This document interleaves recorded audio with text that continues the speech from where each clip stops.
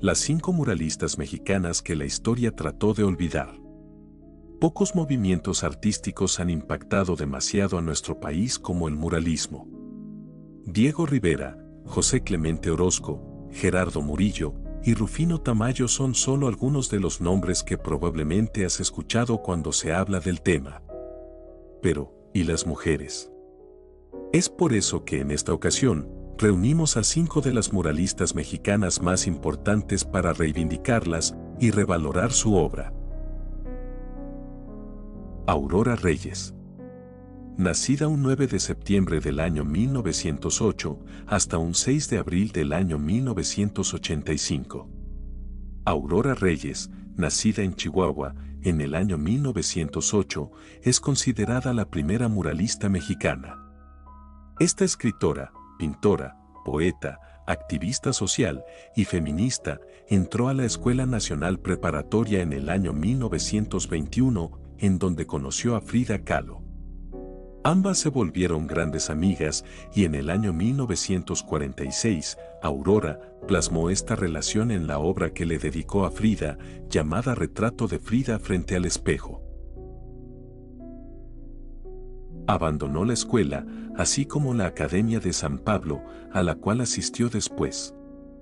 Terminó sus estudios de forma autodidacta y dedicó su vida a las luchas sociales como la educación de los más pobres, las guarderías para las madres trabajadoras y el voto de la mujer, temas que plasmó posteriormente en sus murales. A lo largo de su vida, pintó siete de ellos, siendo el más reconocido, el mural atentado a las maestras rurales, que muestra a una maestra rural golpeada y vilipendiada por los enemigos de la patria. Este mural se ubica en el Centro Escolar Revolución, en la colonia Doctores de la Ciudad de México.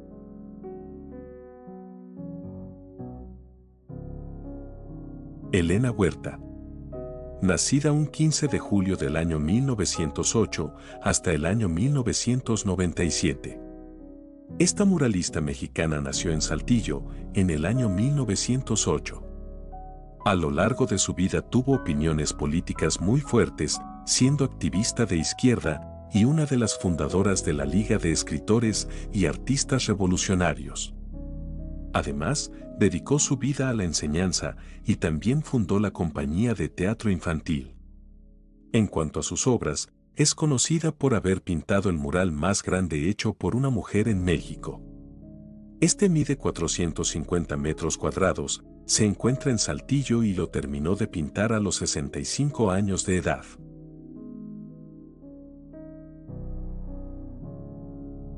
María Izquierdo.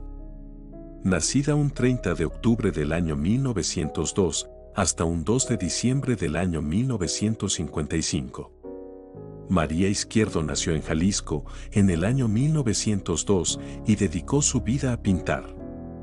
Su obra fue expuesta en París, Tokio, Estados Unidos, Brasil e India y es conocida por ser la primera artista plástica mexicana en exponer en el extranjero. Esto sucedió cuando Frances Flynn Payne la invitó a exponer sus obras en el Art Center de Nueva York, lugar que recibió 14 óleos con retratos, paisajes, naturalezas muertas y estudios. Además de estos temas, María Izquierdo sobresalió por el papel protagónico que le daba a las mujeres en sus murales, visibilizando sus problemas y espacios. Algunas de sus obras más famosas son La Sopera,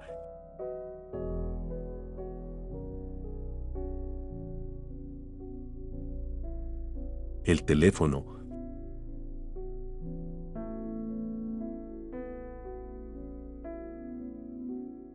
escena de circo.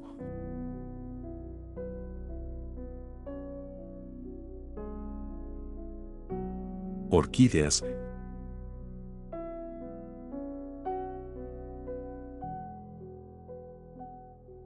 Y Viernes de Dolores.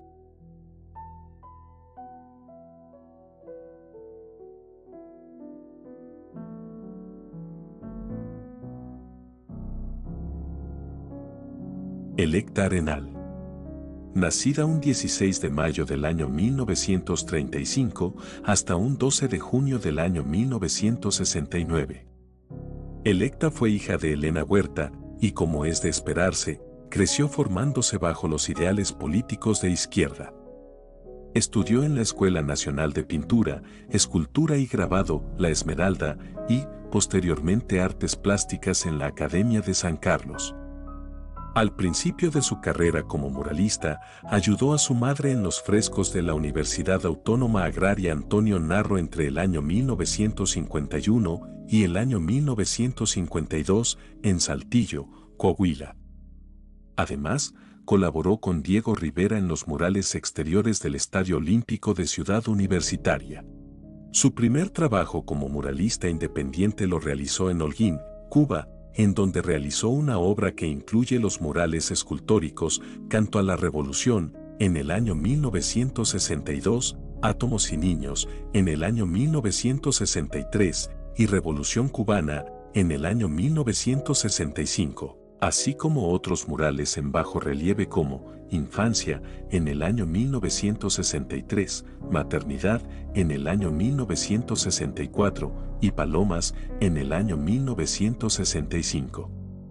En México, plasmó contenido social en diferentes edificios de la Ciudad de México.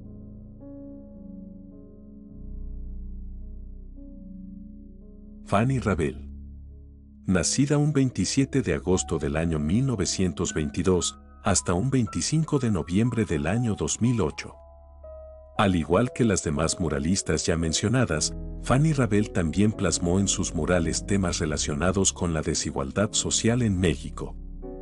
A pesar de que Fanny Rabel nació en Polonia, en el año 1922 llegó a nuestro país a los 14 años.